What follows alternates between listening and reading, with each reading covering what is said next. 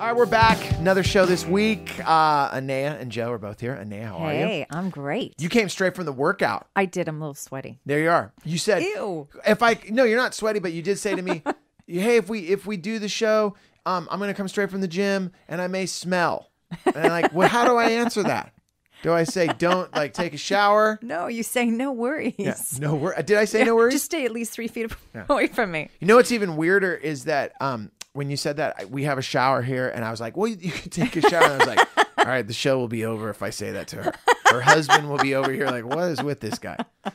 Um, this past weekend, uh, I thought of you this weekend because we had talked about this before. When um, I see kids and families, and you and I were talking about it in LA, especially, Yep. with their son or daughter, and I'm talking like kids are young, five and 6 and they have like a Clash T-shirt or another band, like you know, uh, Foo Fighters or Black Flag or something. You know, just like and you and you you know in your mind you're like, oh, you know, there's no way that that five year old is really into Black Flag or or is really into ACDC.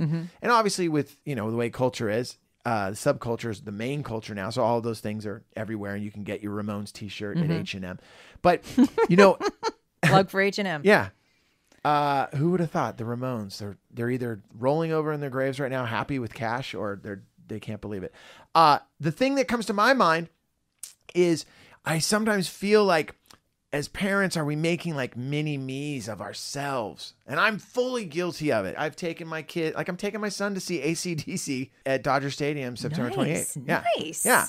And I I've realized he's not going because he likes the band. He's going because I'm so excited. Yeah. Mm-hmm. And I'm cool with that. Uh, you know, I uh I have photos of them in the Ramones t-shirts when they were little. Ramones onesies. like literally, like my wife do. would be like every photo of our kid, they're wearing a Ramones t-shirt. okay. As they've grown, obviously I let go of that, but I do feel that kind of today's show topic would be raising our kids not to be little versions of ourselves. Is there even a, a term for that? Like I said, mini me Mm-hmm. Yeah. syndrome. No, I know you're you're talking about the e- big ego parenting, really. And and I've as I said to you when we talked about this, I think one of the first rules of parenting has to be to check your ego at the door. That's it. Then go from there, which is not an easy thing to do. It's not because my ego. There isn't a there sometimes isn't a big enough area for me to This check room's it a at the little small. Yeah. the ego checking at the door. So parenting without ego, mm-hmm. and I've heard of that before. I, I'm aware of that.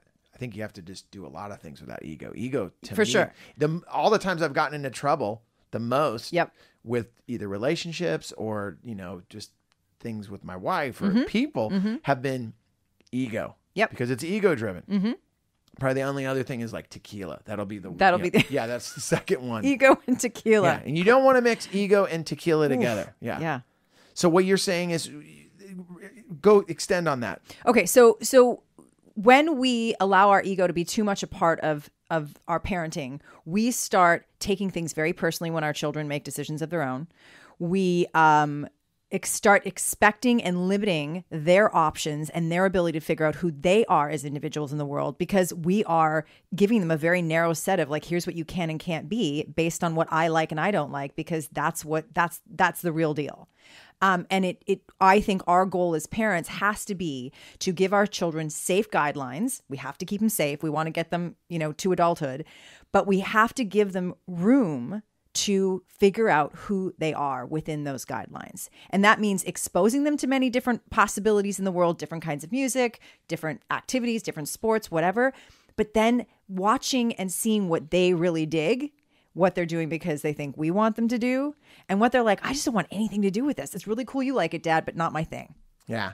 And that's where I think I know just being a dad, I find myself um like if I'm driving with my daughter in the car, pop music, you know, here in LA, we've got Kiss FM and and, and there's so many you know, you know, so many songs and, and their jams. And you know sometimes the lyrics aren't appropriate and that's where I will step in and say, "Hey, you know what? Uh you, these lyrics the way they're describing women, the way this guy's talking about women, I'm not having it. And these are the, I always say these are nice the examples why. are you just saying that because i'm here No, I'm not. No, no, seriously, I'm I'm not. I that that's just so out of touch, Mm-hmm. you know. And and sometimes I see these young girls singing along to these songs where they're literally singing about lyrics that are hurtful to them to as them. women. Yes. So is that okay when I step in and say, Absolutely. not in this Prius? Yep. We're not doing that? Yeah, and, and, and again, look, I don't think any no should just be a flat out no. There's certainly like no's in an urgent situation that you just mean like it's no and we'll discuss it later because their safety is at stake. But generally, I think no's have to be followed up by a conversation. And here's why because it should be a teachable moment.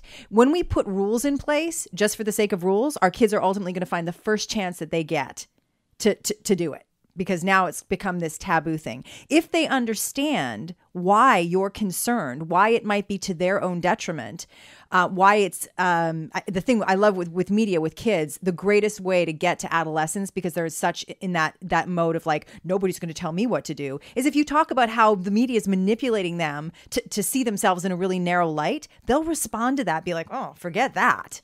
So conversation behind the no always. Okay, but the, but you it is, and I I've I've learned this that what I can't do is is and I see parents do this all the time is you know I have you know obviously the age I'm at the guys I grew up with are listening to you know whether it's ACDC or Led Zeppelin and mm-hmm. then you know they're dads and they're like they're like oh, man I'm not listening to this crap in my car and mm. and then they're I, you know I wonder that that's hurtful to the kid right because then It's a great point because exactly. So we're shame. Look, shame is always like again. I could just list of rules. Don't shame your kids ever because it's so damaging to have one of the two people in the world that's most important to them be saying you doing this makes you less than.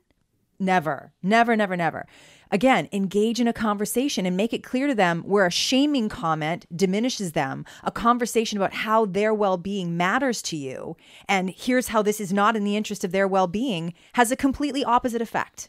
Then go, wow, you know what? I might not agree with dad or might not agree with No, mom, that but makes sense. clearly they they care. Yeah, that makes sense. And I think sometimes maybe we get shaming confused with I'm going to tell you the way it is, where where you got to be careful with that. Mm-hmm. Right. Or this is just so awful. Like we yeah, we Yeah. really have to be careful. So maybe maybe the lesson, at least, I, and I know we're touching a lot on music right now, only because that's such a huge part of my life, and I think it's everyone's part Mm-hmm. of life. You know, you spend so much time in your car with your kids, and, and- but I know that some parents are are fine with what whatever their kids are listening to, um, and it's not such an intricate part of who they are. So maybe we go into this thing um, because I know this is a huge part of everyone's life is sports. Mm, You know, you mm-hmm. have the father that played the football, and then you have the the football. You have the father that played baseball, basketball. They were this huge athlete, and they're going to have Yeah. their son or daughter be such an athlete. How do we, you know, mini me version again? Totally. How do we handle? How do you go down that road?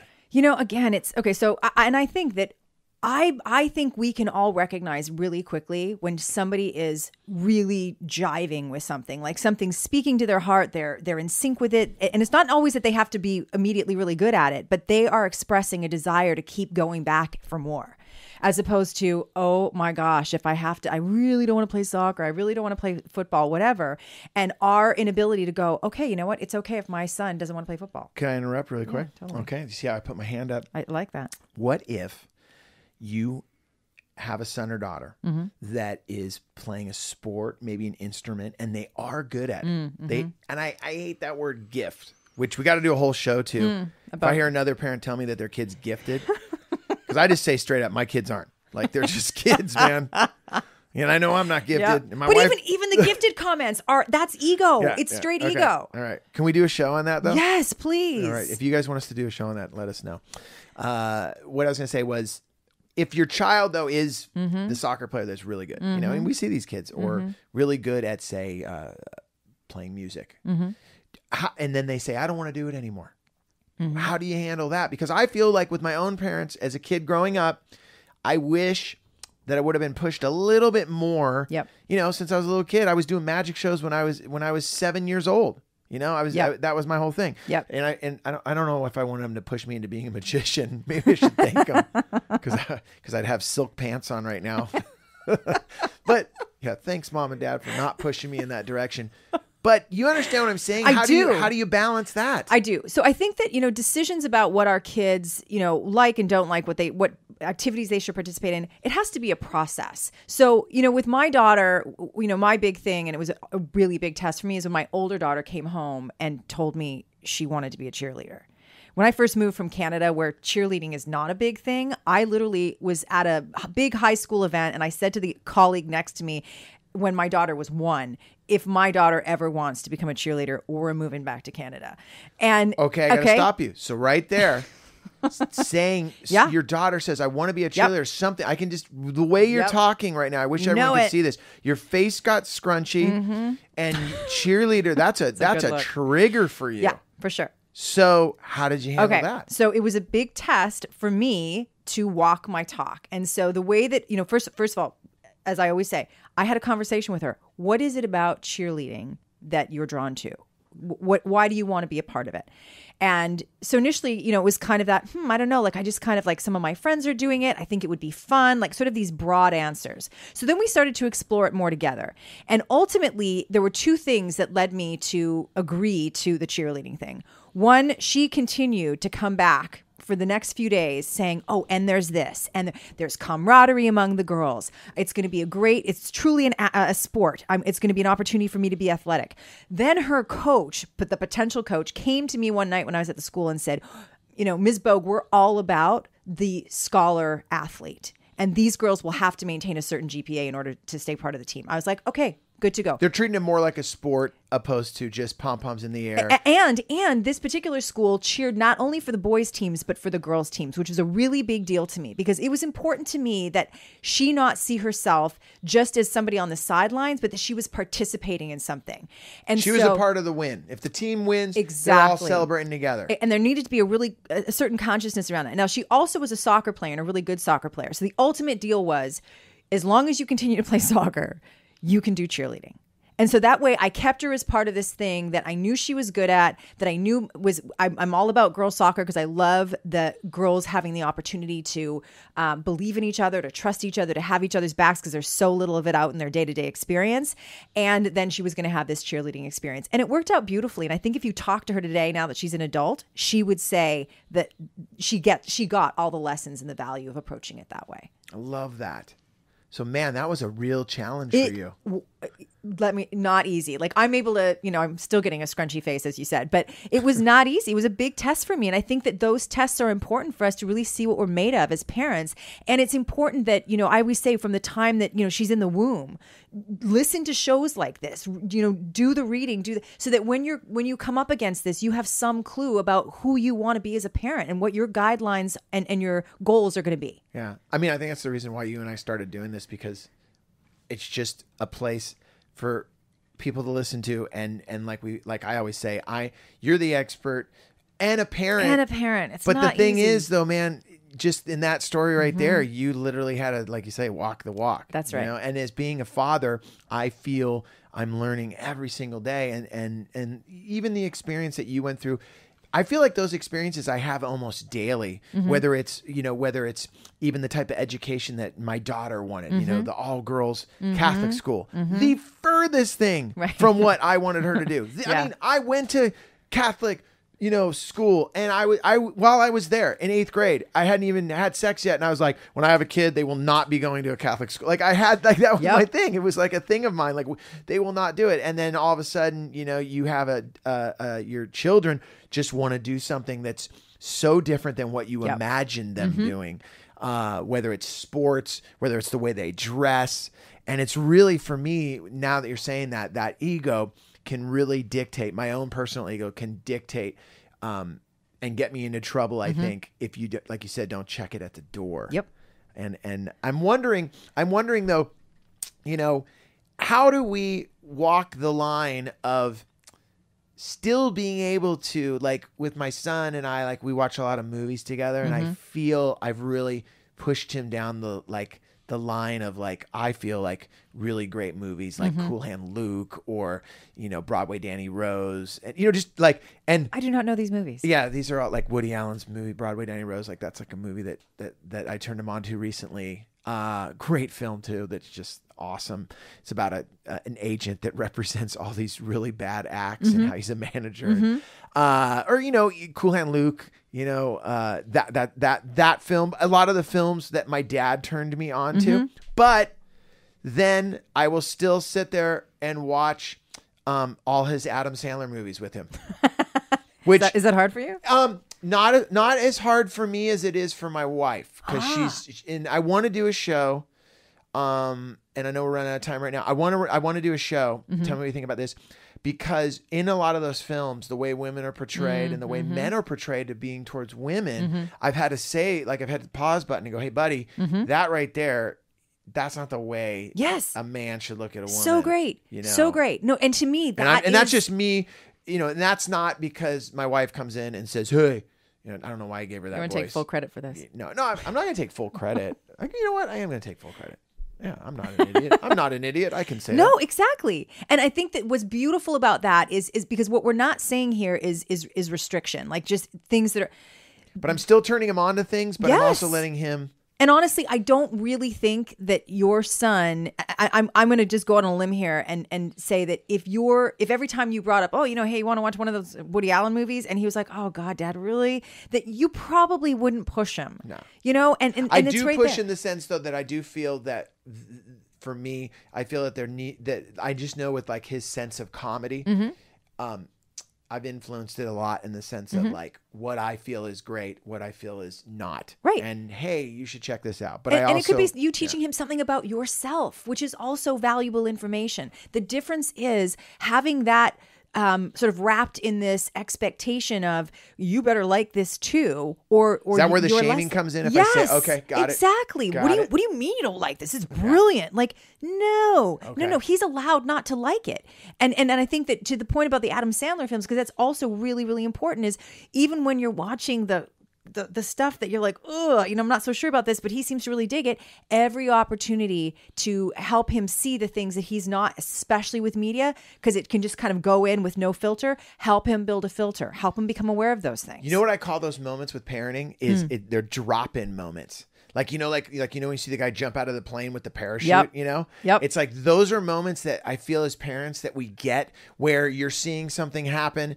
that could be such um, an opportunity for you to, you know, shed some light on a subject, educate, you know, give them a different perspective, and and really be that parent. Yep. And but then what ends up happening is you know you've gone through the work day, it's the end of the whatever, Mm-hmm. and you're tired, and that that drop in moment passes by, and Mm-hmm. I feel like as I as I go deeper and deeper into it, I I see those moments almost more more frequently because I'm more aware of it. Yep. And and I try to drop into those as much as possible. And there's nothing wrong with if you've had a long day at work and you're exhausted, you know, going back to it. I love drive to school with my girls. That was always when we had the big conversations.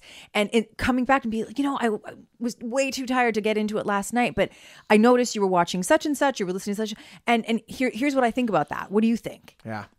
Um, want to thank you today. That was great. Uh, so many different topics. I feel like we got to do a show, like we just said, on movies. Mm-hmm. Yep. And how we feel uh, about that. Um, just what you said right now, conversations with your daughters in cars. Mm-hmm. Gosh, it's like the Jerry Seinfeld comedians and coffee in cars. Like talking to my daughter in a car. I got We got to do a show on that because I can. I th- I cannot spark a conversation in the car. Really? Yeah. She has straight up said to me, I don't talk in a car. I, ha- I have a bit I do on stage about her. driving my daughter to school where Yep. I, I'm trying to start the conversation. I say to her, Hey, you know, she goes, Dad, I don't talk in a car.